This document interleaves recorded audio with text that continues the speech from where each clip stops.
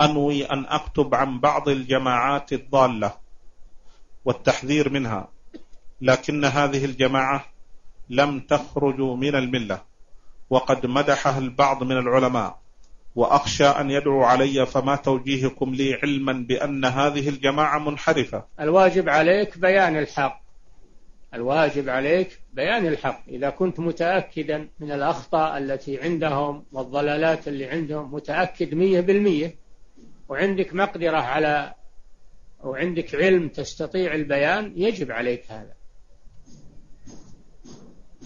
ولقد أخذ الله ميثاق الذين أوتوا الكتاب لتبيننه للناس ولا تكتمونه. إن الذين يكتمون ما أنزلنا من البينات والهدى ما يجوز كتمان العلم.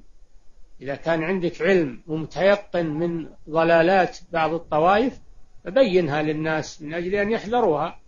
وهذا من النصيحة. قال صلى الله عليه وسلم الدين النصيحة. قلنا لمن يا رسول الله؟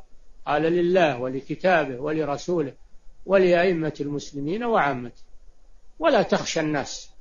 عليك أنك تخشى الله سبحانه وتعالى. تبين الحق. ترد الباطل. ولا تخشى الناس.